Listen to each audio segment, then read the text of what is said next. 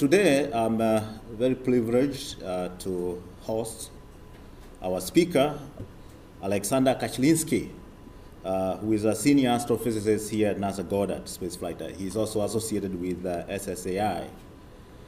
I-, I wanted to remind you events from Sputnik 1. Sputnik 1 was the first artificial satellite uh, launched on the 4th of October 1957. It was a very simple metal sphere, 58 centimeters in diameter, with only four external antenna uh, for broadcasting uh, radio waves, uh, radio pulses, and nothing else. It lasted 21 days in space after traveling more than 71 million kilometers. Its success uh, triggered the space race as we know it, as part of the larger Cold War and ushered in new political, military, technological, and scientific developments. In the wake of these successes came young dreamers. Alexander Kashlinsky was one of them. Today, he's going to trace his journey back to those days of Sputnik and to the place of his birth, the current day Latvia, uh, which was part of uh, USSR. Sasha had a dream to go to space. That's all he wanted when he was a kid. But fate ruled otherwise. How did this change in direction come about? He's going to walk us through different stages of his life. And I have to remind you that Sasha has had a very illustrious career since he came to Goddard in 1991 and has made important contributions uh, to cosmic infrared and cosmic microwave background radiation. He has also worked on galaxy formation, large scale structure of the universe, and the dark matter, among many other topics. He recently published he recently published results of a new study where he suggested that what LIGO, we all know what LIGO is, the Laser Interferometer Gravitational Wave Observatory, might have detected was a merger of primordial black holes. His PhD advisor was no other than Lord Martin Rees, one of the world's most eminent astronomers. He works very closely with John Mather, our own Nobel Prize in Physics laureate. Please, ladies and gentlemen, help me welcome our speaker, Alexander Kashlinsky. Thank you. Thank you. Thank you for the nice introduction. So I'll uh, take you through my personal perceptions of my journey. I don't pretend to be objective. I will just uh, describe how I saw various events uh, in my life how I ended up here. It was by pure coincidence, as you will hear. I probably would not have ended here if it wasn't for something when I was somewhere around 10 years old. This is, I'm the one in the center here, and these are two other Kashlinskys that keep me on my toes. That in, that's in Shenandoah last summer. My full name is Alexander. Uh, in Russian, it's abbreviated as Sasha. Don't ask me for phonetical connection. But I got my name uh, per Jewish tradition from my grandfather, who died in 1952, Alexander Buxtin. He was a great hero of World War II. He ended it, it as a general. He played most direct role in the various critical battles of that war. Surprisingly, he survived unscathed through the most major battles of that war. He was always at the front. But uh, at the age of 52, um, he had a massive stroke and he died on the spot. When I was born, uh, five years later, I got his name. There was never a choice of what name I would bear. And my childhood was filled with bedtime stories from my grandmother about Dedushka Sasha, as he was known to me. I never met him, but uh, uh, endlessly I would hear about his courage, principles, integrity, and I enjoyed these moments very much. Um, when I was born, I'll talk about my very early precognitive years. When I was born, a few weeks later, the Soviet Union launched Sputnik as Charles was saying, on October 4th, 1957. This was followed by the first non-returned animal in space, the dog called Laika, also by the Soviets, it's all Soviets. This was followed by the first satellite to leave Earth. It missed the moon, but then it was followed um, a bit later by the first satellite to reach the moon. Then there was safe return of two dogs, first return from space. This was followed by the first man in space, Yuri Gagarin. Then there was German Titov, the second man um, to orbit the Earth. There was the first woman in space, Tereshkova, 1963. That's where my memories actively switch on. I remember distinctly her flight, how it was shown on TV. Then there was the first space uh, walk um, by Leonov, Russian cosmonaut. Uh, I also remember it very well. There was the first landing on the moon, the first spacecraft to reach another planet in 1966. It was Venera. Soviets concentrated on Venera, whereas Americans would later concentrate on Mars. And then there was the first spacecraft to enter into orbit around the moon. So all this made the atmosphere where I was growing up um, to just revolve around space. The space era has dawned. It was a very hot subject in the Soviet Union. Everyone talked about it. And at that time, the US space program was not on the Soviet map. I don't remember anything said about it uh, until uh, a bit later. Not because, not even because it was political, but simply because Soviets just, they were first in all of these things.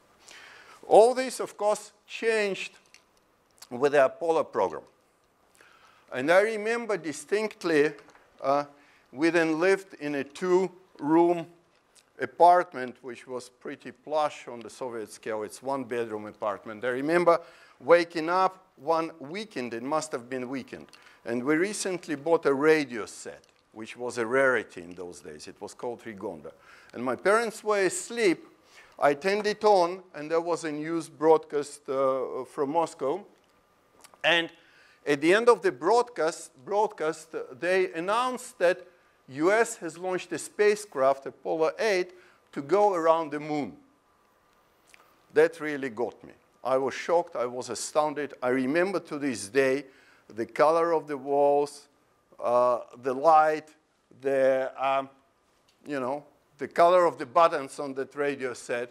Uh, now, thanks to Google, I could trace it indeed. It was, US uh, launched it on Saturday, December 21. So it must have been indeed a weekend, uh, Sunday, December 22 in the Soviet Union. And I was completely astounded by this news. It really got me.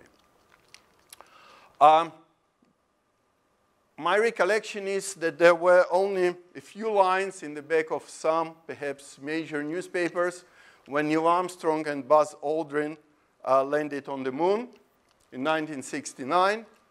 And the Soviets then uh, sent their own uh, first rover called Lunokhod in 1970, and it was very much covered by the news. It was, uh, you know, the official talk, as I remember it, was that uh, we never planned for cosmonauts to go to the moon. Why bother? Because if you go today to the uh, Space Museum in uh, Smithsonian Space Museum, you see what happened there. Uh, Soviets were building their own rocket. From what I understand, uh, Saturn, it had five engines, four on the center, really massive engines, uh, which were very difficult to build. Soviets went another way, according to what I saw at uh, uh the Space Museum. There was N1 rocket uh, that was supposed to take cosmo cosmonauts to the moon, and it had 20 smaller engines on the side. And of course, when you have four powerful engines, it goes up. When you have 20 smaller engines, things have to be balanced very finely because if one engine just emits a bit more than the other engine or ejects a bit more, the rocket goes sideways. That's what I understand happened. But at any rate, they uh, launched, I remember this first uh, rover, Lunokhod, was very much in the news. Uh, as opposed to Apollo 11. But interestingly, and I remember it very distinctly, when Apollo 13 happened, uh, in my recollection, the human aspect won, and I recall ongoing coverage of that, uh, quite, uh, you know, detailed. I remember people talked about it everywhere, on buses, school radio. I recall a great sigh of relief when it landed back successfully. I remember many details, like when they uh, had to design this filter to clear carbon dioxide in space. I remember when there was what it seems to me to be in real time, when there was this extra minute of blackout when they were landing, and um, it seemed that it was uh, uh, gone, but it landed successfully. So when I saw the Apollo 13, which is an excellent movie, uh, decades later, every detail I remember, or more or less every post-launch detail, I remember the way uh, it was reflected then. Uh, I recall later this the Soyuz Apollo docking in space in 1975. It was a big event in the Soviet Union. It didn't click with me at all. Perhaps, uh, as I will talk a bit later, I was already uh, in the dissident underground at that time and uh, just um, didn't click with me. In late 60s, uh, I came across this book that is probably the single biggest reason why I'm here. I remember I was looking, I was walking around our living room and uh, looking for a book to read on our bookshelves. And by pure chance, I came across this book. Uh, uh, people here probably know Stanislav Lem. He's a Polish science fiction writer. Solaris is uh, probably his most well-known book here. But this book, The Magellanic Cloud, it completely swept me off, off my feet. It was about, it was about, about the first um, uh, interstellar travel to Alpha Centauri system. Uh, completely conquered my mind. That's what I wanted to do after I, read that, after I read that book. I don't remember exactly whether it was before Apollo 8 or after Apollo 8, but around that time that I read it, it completely swept me off my feet. It was the single most defining uh, moment for me uh, professionally, but I never got to go to stars, and this is why the title of uh, my talk is what it is. Uh, some decades later, I got a hold of that book again, many decades later, uh, after I moved to Israel, uh, I didn't have access to science fiction in writing, in Russian, and then I uh, um, just many years later when uh, I uh, could access it again, it just, I couldn't get past the first few pages. But at that time, it uh, really got me. Interestingly that, as I'm sure you know, uh, there is an Earth-type planet in the habitable zone in the Proxima system, just as described in that book. So in a way, it was prophetic. But this is the single book that probably was uh, uh, instrumental in my doing what I'm doing. Um, in the Soviet Union, you had pretty much the same system of school as here. You had elementary school, you had middle school, you had secondary school, what is high school. And uh, secondary school at that time was 10 years. So once I finished my um, middle school, I wanted to go to a medical school in Riga. Um, this is an equivalent of what is known here as magnet schools.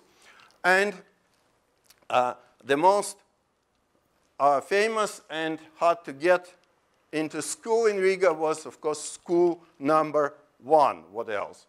Um, and it was Missy Medical School in Riga. Uh, interestingly, it was founded in 1211. So uh, if you go to Wikipedia and uh, go to the list of the oldest schools in the world, you will come across that school near the top. Um, so I uh, really wanted to get in there, into there. There were uh, entrance exams. I uh, prepared for them. I took them. The examiner there was someone called Alexandra Ilyinishna Matveyeva. Um, she was to be my uh, mathematics teacher in that school. Uh, my favorite teacher, she passed away as soon as we graduated. She was dying of lung cancer as we were graduating. Uh, but she was a fantastic teacher, and uh, uh, we clicked instantly. Those who know Russian system of names, there is first name and there is patronymic. So Alexandra Ilyinishna is Alexandra, daughter of Ilya. And I was Alexander Ilyich. I'm Alexander, son of Ilya. So it's a rare uh, uh, combination. So these were the toughest exams I ever took in life since then. I remember them distinctly. I passed them and got in, and I'm very happy I did.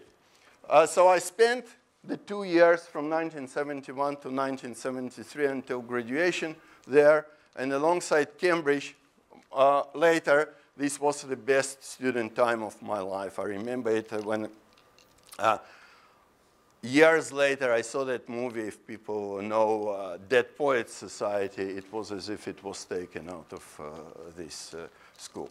So uh, I would also start my dissident activities about which I will talk uh, uh, in a moment there, and uh, this defined the rest, and uh, this came at the expense of my studies as I, uh, I realize now.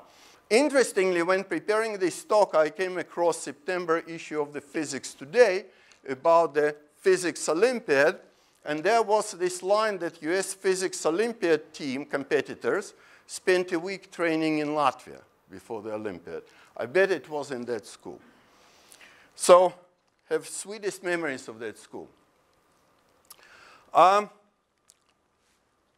my last years in USSR, as I was growing up, as I was um, um, maturing, uh, the iniquity and the wickedness of the Soviet totalitarian system became ever so clear. I can spend, you know, many talks on that, but I wouldn't. So I'll just briefly go through this.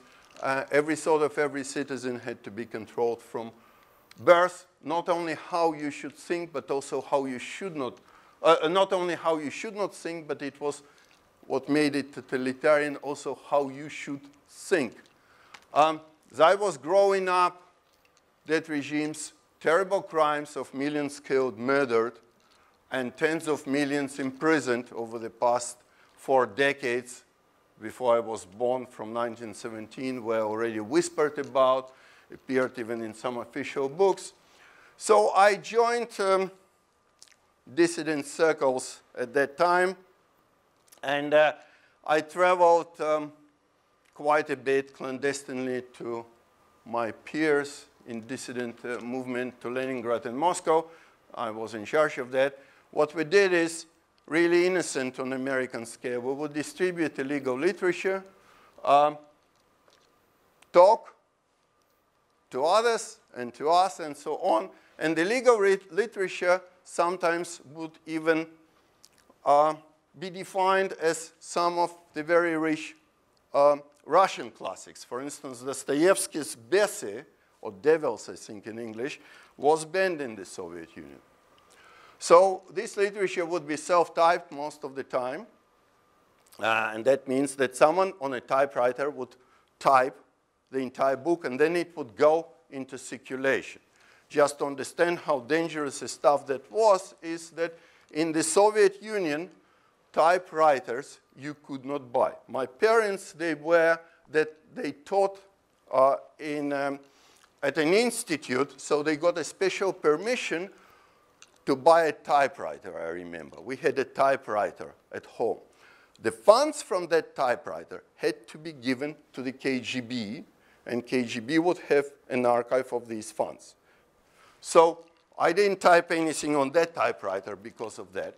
But, uh, you know, many of these books would be self-typed. You get a book, you spend the night reading it, you pass it on, then it gets passed on again, and so on. It was dangerous stuff. And occasionally we get, would get some books from uh, foreign tourists who would come, especially with that collection of books, to the Soviet Union. And at one of these clandestine meetings, I very briefly even met Andrei Sakharov that was in Moscow sometime, maybe 75. He was a, and I think even the leader, the leader of the Soviet dissident movement, a man of great courage. Uh, there is really no one like him anymore. Uh, the Czech Václav Havel may come close to his uh, um, qualities. But he was also a fantastic scientist. Late awakening cosmology, I discovered his major contributions to this field done in 1960s. And they were things like Sakharov oscillations, what is today known as Doppler peaks in the cosmic microwave background. And he was the first to propose how baryon asymmetry can be generated in the universe because of CP violation, also in the 60s and so on. He was an unbendable uh, man of great principles, integrity, and uh, uh, uh bravery. So um, I plan to move to Israel once I reach 18. Uh, the earliest age one could apply. And when I reached 18, I finished a third year of physics at Latvian State University in Riga. There are five years uh, that you study in the Soviet Union, or in those days it was five years. So um, I started applying. The process was known. You would be kicked out of university. You may be allowed to leave. You may not be allowed to leave. Uh, it was a lottery, and if you're not allowed to leave, there are consequences because you're not in university anymore. But less than one month, I applied on July 4th, 1976. I distinctly remember the day. And less than one month later, apparently they had, were fed up with me because uh, I had some you know, running scene with the KGB. So less than one month later, I was summoned to that office. It's called OVIR in the Soviet Union. Uh, they dealt with uh, Uh, things and informed that I'm stripped of my Soviet citizenship and have to leave the Soviet Union in less than eight weeks. So there I was on my way to Israel. Of course, my parents had to stay behind, and it was a literal iron curtain in those days.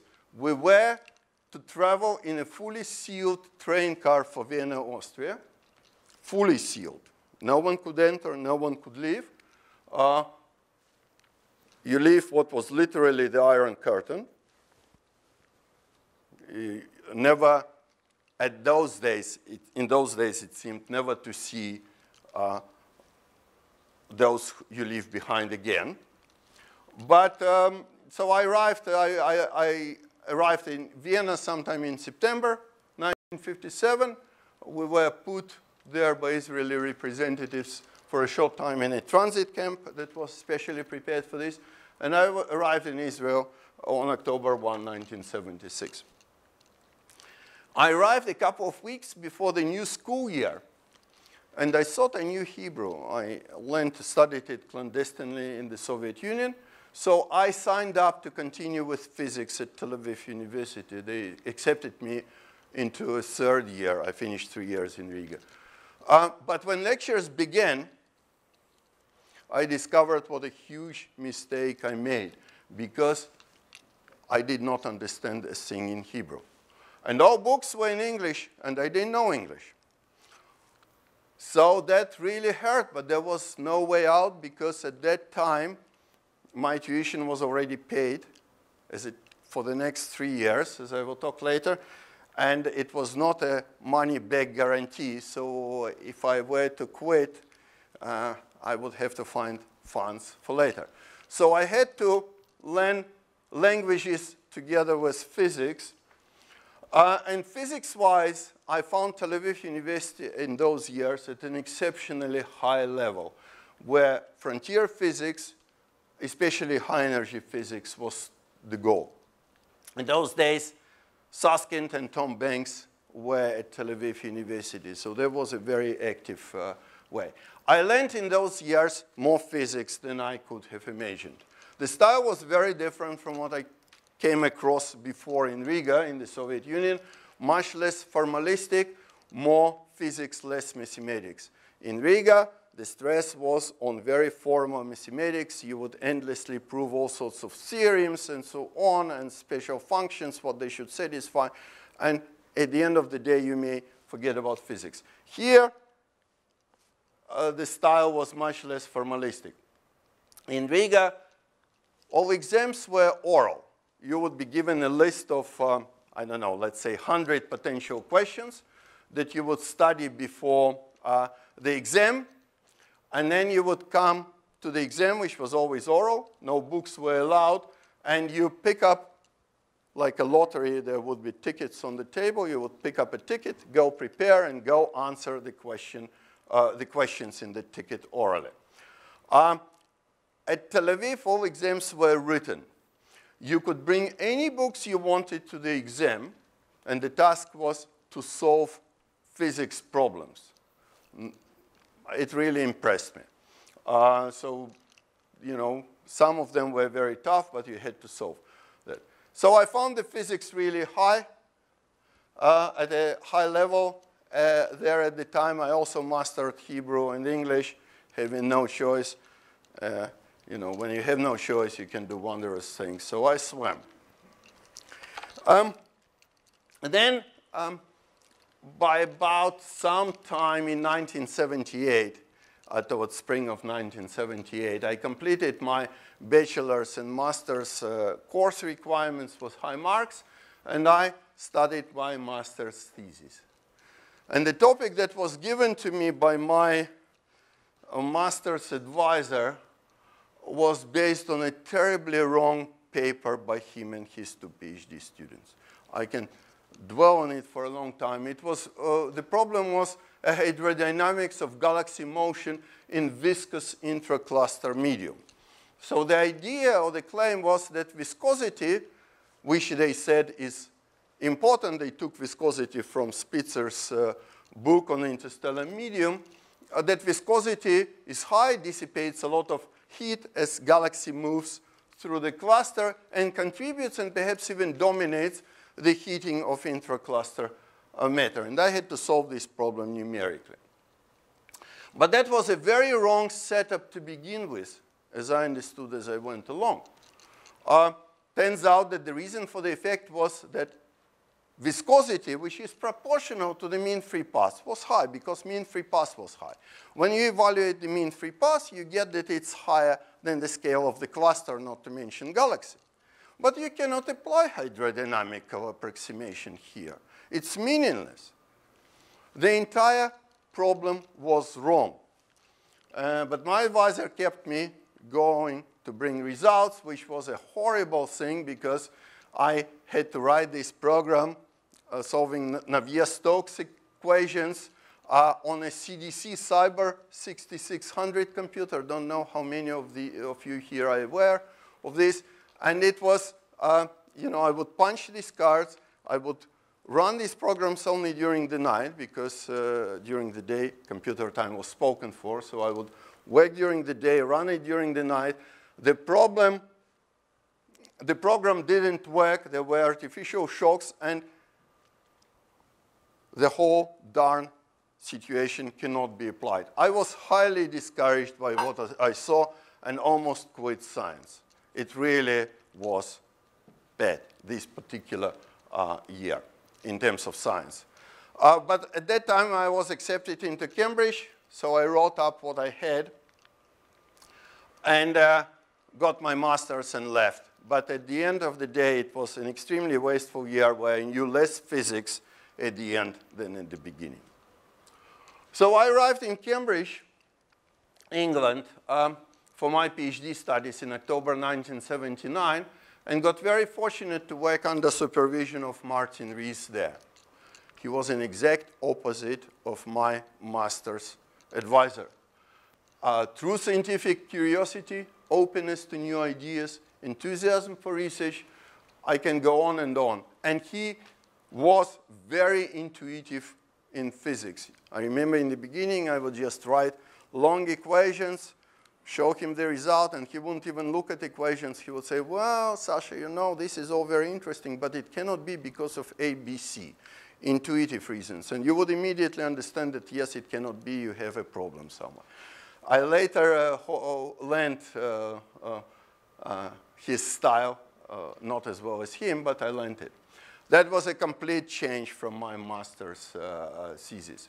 Martin gave me lots of papers to read, then gave more papers to read, then still more papers to read. We talked, we discussed. He suggested at that time to think about formation of first stars in the universe, the so-called population three. You have population one stars, such as the sun, which has roughly solar metallicity. Then you go to the bulge of our galaxy, you have poor uh, metallicity, but non-zero metallicity population two stars, but you don't see any stars with zero metallicity, stars that formed first out of Big Bang. What were they was a big question. So that was population three. I agreed to think about it. I had complete freedom what to engage in at the Institute of Astronomy. Martin was always there, always enthusiastic, always eager to brainstorm and direct me from what uh, uh, was uh, trivial, wrong, and so on. Socially, I was also a member of that Cambridge system. I was a member of Christ College. Um, uh, that's the college that Charles Darwin went to, and about which uh, he said that it was uh, the biggest waste of time of his life. But I actually enjoyed that college very much. The social interdisciplinary aspect of it. Uh, my three closest friends there were doing PhDs in biochemistry on Hegel and in computer science. So we covered pretty much uh, the entire uh, spectrum. Um, and we would discuss it over beer, of course. In 1981, I came up with my greatest, what I consider to be my greatest idea so far, not terribly well known, unfortunately, proposing a concrete mechanism for formation of elliptical and spiral galaxies. And I published it. This is my first paper. Very proud of it. Maybe one day it will be uh, paid attention to. I had a few more papers, continued working with uh, Martin Rees on population 3, and I finished the dissertation with our joint paper on population 3 formation and evolution. Here it is.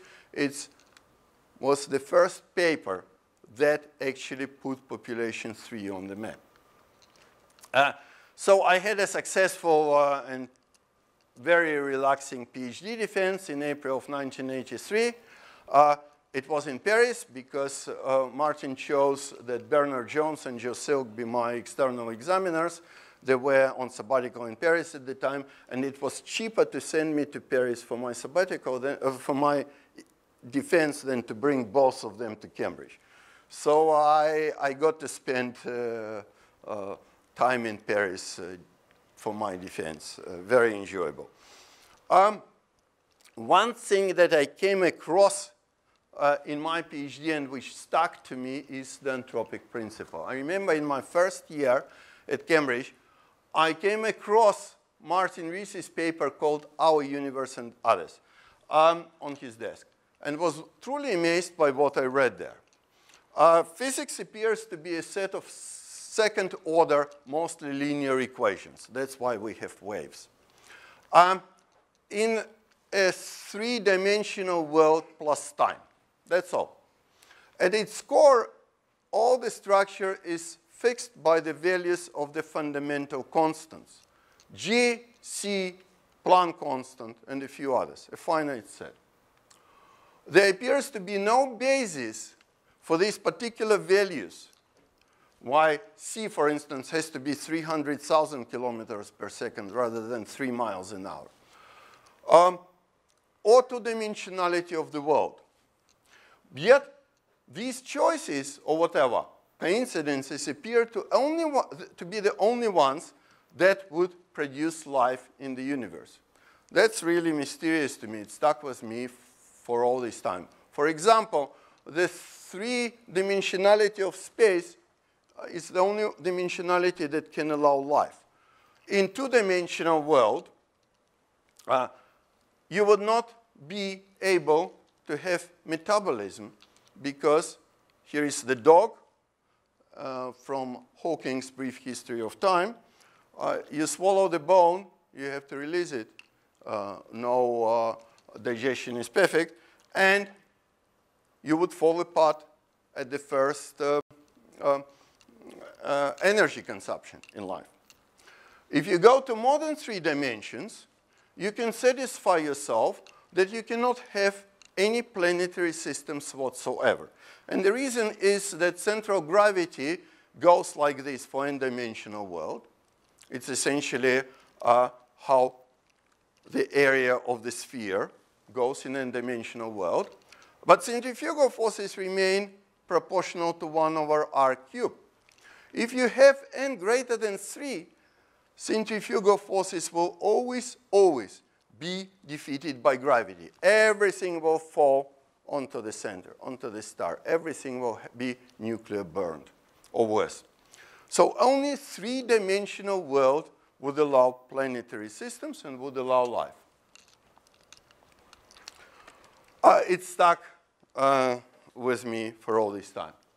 So after my PhD, I went back to do my regular military service uh, in Israel, uh, 83 to 85. I started a private and finished a private, no particular advancements there. But I had a very good commander whose only problem was that he couldn't pronounce name Sasha. It would always come out Shasa, Sasa, uh, what a Shasha, but never Sasha. So after a few weeks, he got fed up. He said, I'm the top dog here, or something like this. And he issued a military order in our platoon that I be called Alex, not Sasha. So I became Private Alex. That's how I served there. And he even allowed me to continue with some research in the army, which I wrote up afterwards. Uh, here is uh, that paper. I wrote an acknowledgement to him. And later, when I visited Los Alamos sometime around 86, Sterling Colgate uh, even introduced me unexpectedly to me for the most original acknowledgement he has seen, or something like this. So at least that part of my paper has been read. Um, I came to America in 1985. It was to Charlottesville, Virginia. I was at the NRAO jointly with the University of Virginia, and it was a very different world to, uh, from what I have encountered before. I was a hardcore theorist. NRAO dealt with observations and dealt with them very well. Galaxy formation ideas also changed uh, while I was in the army. There was now so-called biased galaxy formation and uh, the total omega density parameter of the universe being one ruled the thinking. I worked then on stellar dynamics. I also got into uh, large-scale structure and cosmic microwave background.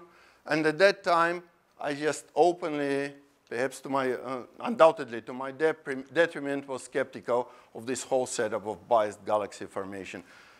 Much of this turned out to be right.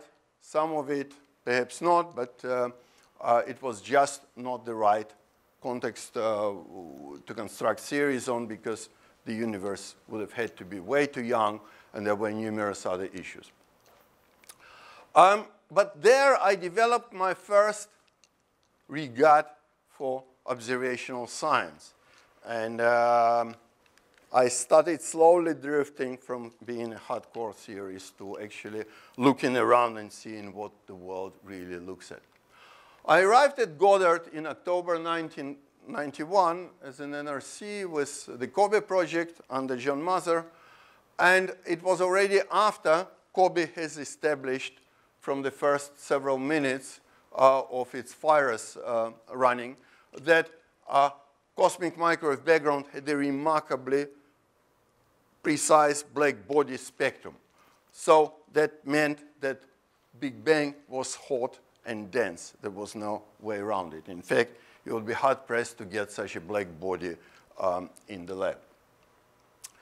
Um, but I was still a hardcore theorist when I arrived, uh, wired to think free, or what seemed to me as free. And uh, it never seemed to me that the universe can become so measurable and so testable. So John ran COBE very well, as I were to understand later. And uh, um, there were numerous checks. There were no leaks, total embargo and everything. And I also found John to be extremely open and curious about new science. It's a rare and visionary quality. I think there should be more of it. But my science philosophy was about to change in May 1992, I was going to an APS meeting in Washington to hear that COBE DMR, differential microwave radiometers, discovered cosmic microwave background angular anisotropies. And there on the spot, the world has changed to me together with my philosophy. It was indeed that data, such data, can be obtained, and they do motivate theory, not the other way around. I was still skeptical about the cold dark matter. I'll come to that in a minute. Sometime around May 1993, I asked John if I could do something on COBE. He suggested to think something for DIRBE. It's the third COBE experiment, a cosmic infrared background, how to get to the cosmic infrared background. The problem there is that the foregrounds are huge at these wavelengths. This is the signal, roughly speaking, that you anticipate. These are the various foregrounds. Foregrounds, signal. In the cosmic microwave background, the situation was the exact opposite. The signal just stands up. Here is another thing that looks puzzling to me along the lines of the anthropic principle. There is no reason why cosmic microwave background has to have temperature of 3 degrees Kelvin. But if it was hotter, not slightly hotter, but an order of magnitude hotter, it would lie somewhere here. And we would never have discovered that there was a Big Bang. It's a remarkable coincidence that cosmic microwave background is 3 degrees Kelvin. So uh, I proposed to John that alternatively, let's look at fluctuations. The idea is that these are tremendous foregrounds, but they're smooth. So if you cannot measure the mean level, you can measure perhaps fluctuations which you can predict through other means. It's like if you have an infinitely bright screen which is completely homogeneous, you do differential measurement, you maybe will see uh, uh, a signal from behind that screen. So Sten Odenwald joined us at that time and the project started. We worked uh, on DIRBE data for three years and then for three years more and developed various tools that would become very handy later. But at that time, the most interesting implications eluded us. We published uh, three what I think are ground laying papers with that methodology from that project. In November 1994, I moved to Copenhagen to Nordita and Niels Bohr Institute. That was a very interesting experience. Of course, much of the uh, physics of 20th century has been made there. This is the institute, it's several buildings. The story has it that Niels Bohr has constructed its structure himself, and you could see why he came um, uh, up with the idea of atom, atomic structure, because topology there was horrendous. I think even after four years, I still have not visited all the alleys. Uh, all these buildings are connected underground, there are floors, half floors, uh, virtual levels. You, you can just uh, uh, get lost there. And uh, most of the science talks were in this room. That probably is familiar to you. That's where the Copenhagen interpretation of quantum mechanics has been established. You know a few faces from here. It's one of these meetings. Einstein, I, I think, is not here. At least I don't see him. On others, he was. He, of course, never accepted the Copenhagen interpretation of quantum mechanics. And this is the same auditorium in 2016. I was just recently sent it. It was Ben Mottelson's 90th birthday. Um, pleasantly, he looks exactly like the last time I was there, which was 20 years almost ago. So it's, uh, uh, um, um, but it was a very interesting experience with its Nordic nuances, which I tremendously enjoyed. And it was a very rich place, again, in 20th century physics. Um, and at that time, there was Abraham Pais, the great historian of that era, who was known as Bram. He was there in those years in charge of Niels Bohr archives. He was always in Canteen Phalangia, so I'm privileged to have two books from him personally inscribed. And uh, um, you could hear all sorts of stories uh, uh, from him. I continued CIB collaboration with John Mather and Odenwald on DIRBE. We also won at that time a seemingly big uh, NASA long-term space astrophysics grant to do our uh, DIRBE work. And Nordita were very uh, good to me, allowed me a lot of flexibility. I could travel, I could uh, come here. I, they even allowed me an early sabbatical that I spent back here. And uh, uh, I could visit places far and wide. I never had so much travel budget as there. I could go to Australia, I could go to South Africa. Uh, you know, sky was the only limit. Um, um, so uh, I was still skeptical about inflation. Um, it's just there was not enough density as I was again getting from a new cluster correlation function data analysis. And at about that time, the three of us have proposed and won uh, to do a CIB fluctuation program with a WIRE mission that was to map the sky about several tenths of square degrees at 12 and 25. Cosmic infrared background. That's why, yeah. Uh,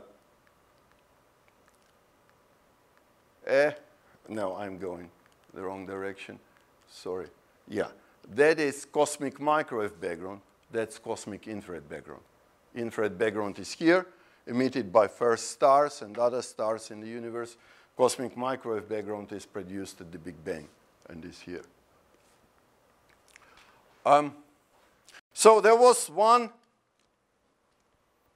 more conference to go to where I was invited to talk about this particular aspect. And that was in California in February 1998. Here I am here. That was my result. I was getting omega from this fit to the cluster correlation function data, the way it depends on cluster richness. Uh, I was getting omega of 0.25 with very small uncertainties. Today, Planck get 0.27. So I flew into California around mid-February convinced that inflation is wrong, just doesn't work. But at the same conference, two independent groups here have announced their measurement of expansion of the universe from supernovae, what is today known as the dark energy. That was a total uh, revolution. Uh, so I flew in there convinced that inflation is wrong. I flew back convinced that it works. The uh, story was that omega is equal to 1, total density parameter is equal to 1 because of the dark energy. No one knows what it is, but uh, it's observationally there. Um, so I returned to Goddard from uh, Copenhagen um, to work uh, in November 1998 to work on our WIRE project. But WIRE had a problem once it reached orbit. Our project was dead. Around that time, John sent an email to me in Sten Odenwald that he met Roc Cutri at, at one of the conferences. They were doing the so-called 2MASS survey, and that deep parts of that survey appear to be useful for our CIB fluctuation analysis. So we made an arrangement with Roc. We dove into 2MASS.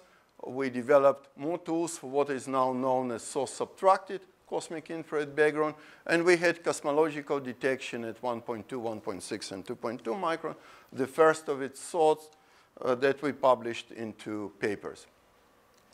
Around that time, it occurred to me that we can probe the signal from first sources, the so-called population 3 that I was um, suggested to work on uh, during my PhD.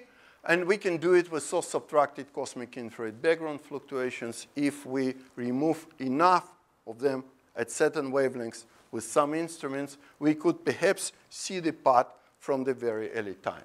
So we were joined by Rick Arendt and Harvey Moseley and went looking for necessary data. Harvey at that time uh, realized that uh, uh, a deep calibration field that he had access to from Spitzer IRAC instrument exists and would be highly useful in the range that we get the data from Giovanni Fazio.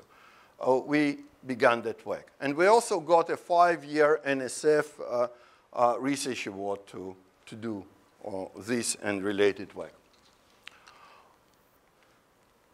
I want to dwell on one transparency about uh, another aspect that proved important to me.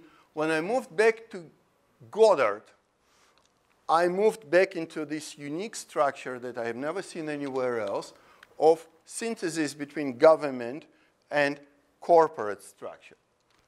I started at Hughes STX, then we were sold like football players to Raytheon STX, then it became Raytheon ITSS, and from I think 2001 or so I was at SSAI always uh, uh, uh, through this, these years under management of Bob Cornett. It is a unique, in my experience, setup which taught me how to stay within budgets, uh, do budgets, get external funding, and so on. I utilized it to do some of my best and most basic science. And it also allowed me, on occasion, to branch out into uh, other things such as ozone and climate studies that I worked briefly on. Um, so since uh, 21st, uh, since 2001, I have been with SSAI, run by Om Bahethi, and uh, found the atmosphere there, while corporate, very much conducive to scientific exploration and always helpful in preparing grant applications, processing visitors and such things. So as a result, I will be there beyond 2030, I, as I will talk in a couple of minutes. Um, uh, how many minutes do I have? Keep going, keep going. Okay. So uh, going back to that Spitzer data set that Harvey Moseley arranged for us to get. Um, it appeared that we were getting somewhere with that, uh, and uh, maybe somewhere with that idea. Uh, so uh, it was processed remarkably well uh, by Rick Arendt, and it appeared that there was a faint residual signal in the cosmic infrared background fluctuations left in the maps, which was clearly in excess of that from remaining known galaxies. So I thought that that was a remnant from first stars era. From the very early stars, we just removed enough, and we could see, you know, a signal that talks like POP3, walks like POP3, clusters like POP3. So uh, we submitted a paper to Nature, which was processed as an article, which is a top tier of Nature, remarkably painlessly, except that Nature made us rewrite it in a completely different style, a much more strident style, Nature style. It was written like at first when we submitted like a more technical paper.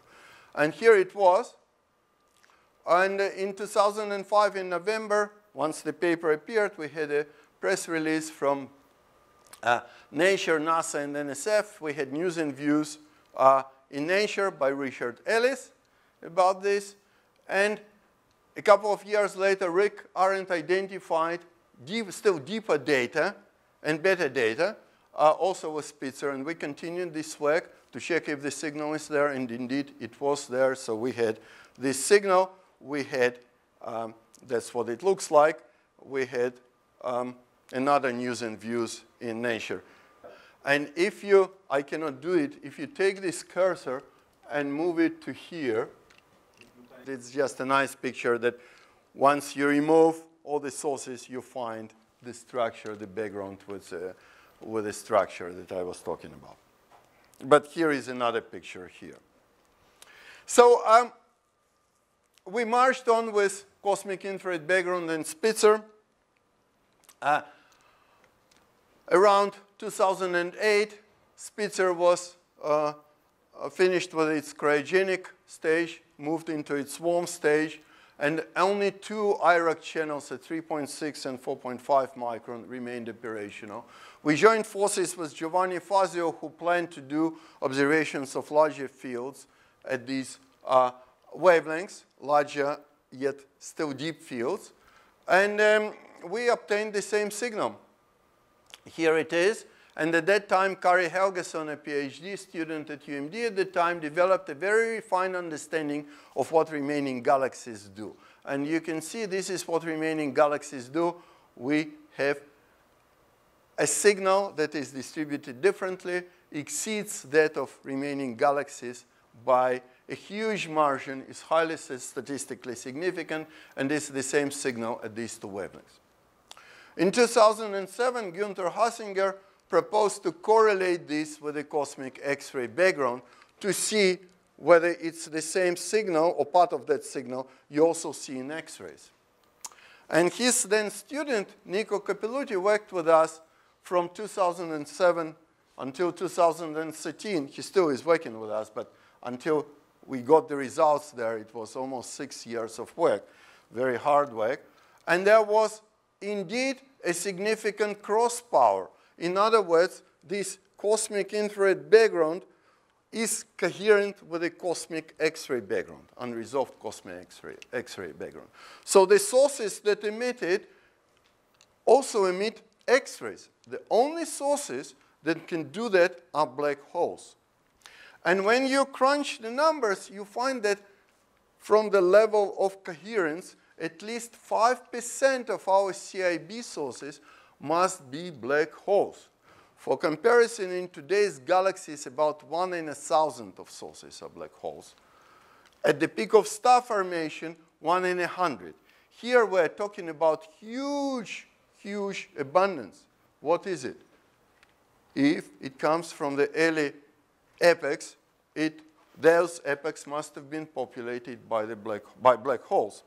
Possible clarity, we'll see how it pans out, came when LIGO discovered gravitational wave from very strange setup of two 30 solar mass black holes that uh, these are strange masses and very similar uh, to, to come from natural stellar evolution. And they're also very similar masses. Um, so if these black holes are primordial and make up dark matter, this signal can just arise naturally. We'll see how it pans out. Uh, and I'm coming to the final uh, stage of my talk, LIBRAE, looking at infrared background radiation anisotropies with Euclid. Euclid is here. It's a dark energy mission, a flagship ener dark energy mission uh, that will be launched by um, European Space Agency somewhere around the end of 2020 with a major uh, NASA involvement. And in spring 2012, NASA announced proposal solicitation for Euclid, which is again a major dark energy mission. And the US slots were kept at 40 slots in total because Europeans didn't want to lose control of their mission. So we put together a team of 12, of 12 people proposing a major cosmic infrared background CIB study with Euclid and we won. We were given seven slots. Uh, we are the second largest US team there after the dark energy team under Jason Rhodes. And uh, um, here, our team includes Rick Arendt and Harvey Moseley, and we have colleagues in Hawaii, Austin, Texas, and Harvard, but headquarters did not improve, approve all 12 of us. And the panel clearly recognized our CIB science, calling it a key question uh, of cosmology. The project will run through 2030 and possibly beyond. We are joined also by um, uh, a dozen of European colleagues, and we spend now 12 hours in time zones, which makes it hard for telecons. Either someone has to get up at 5 o'clock in the morning or someone has to go uh, to bed after midnight. But it works. SSAI and Goddard were very, very helpful in enabling this project. Uh, many thanks. But just imagine the scope of this. In the 10 plus years of Spitzer-based work, we analyzed the total of less than one half of square degree of the sky at two near IR bands. That was 10 years of work more. Here we will be working with 15,000 square degrees in three near IR bands and one visible channel. That's the magnitude of the advancement. It's a completely, and it will also be deeper than what we had uh, been working with here. So we'll be going from half a square degree to which we devoted over 10 years to 15,000 square degrees. Remarkable uh, achievement. So let me now come, that's the penultimate uh, slide. Uh, I didn't end up going to space, as you can see.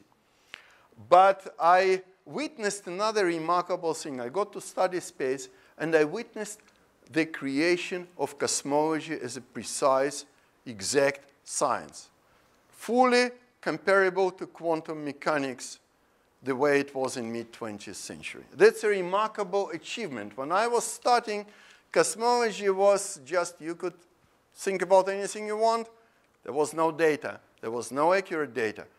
There was, you, could, you would just speculate, and I personally, until COBE, never believed that any of these speculations would ever uh, uh, be constrained.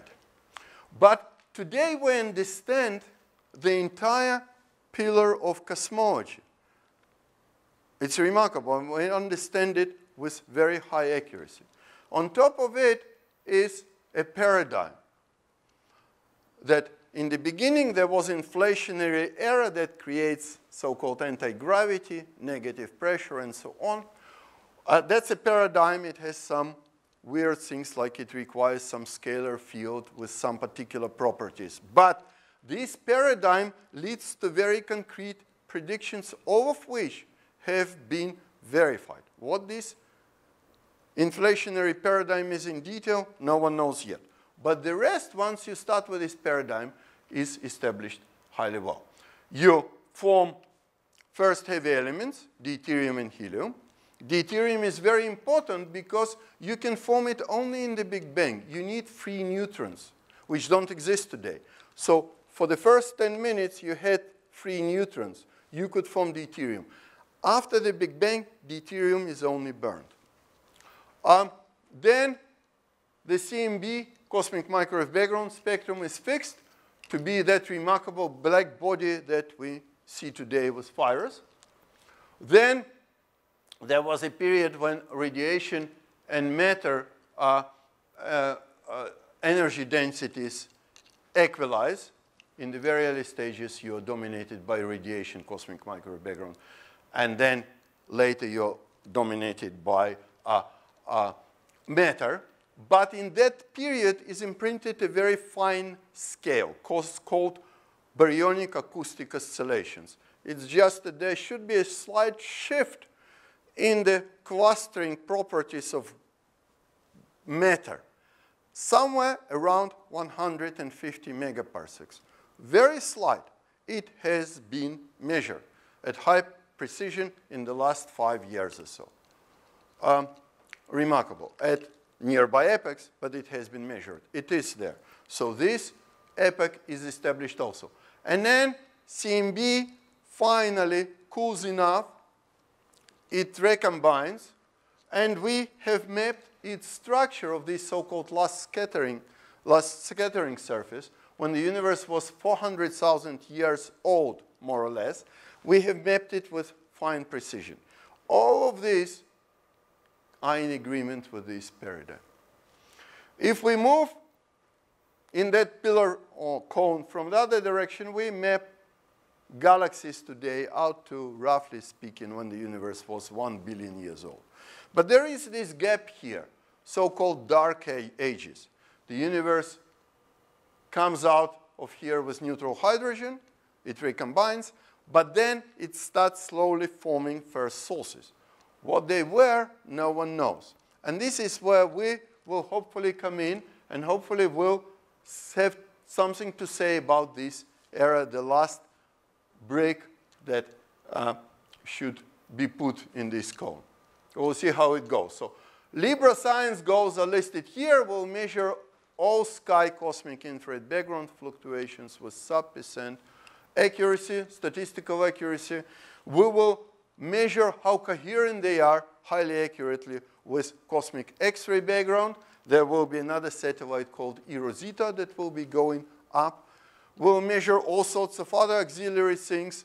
We'll measure the epochs of these populations because if they are at high uh, redshifts, early epochs, you should not see them below the Lyman alpha line of emission, so there would be no signal at the visible channel of Euclid. Um, or should be no uh, signal if they come from early times. And we'll determine a lot of other things. We should uh, know more, uh, oh, probably sometime in 2021, it goes up in 2020, so stay tuned. But we'll be working on it through 2030. So let me sum up my key define, defining moments um, of the journey. I, as I said, I didn't get to space yet. I still hope to. But here they are, getting the name of my grandfather, Alexander Buxtin. Um, hearing of Apollo 18 on that Sunday morning of December 22, 1968, completely swept me off my feet. Um, was by pure chance. I just, my parents were asleep, I turned on the radio and that's what it had.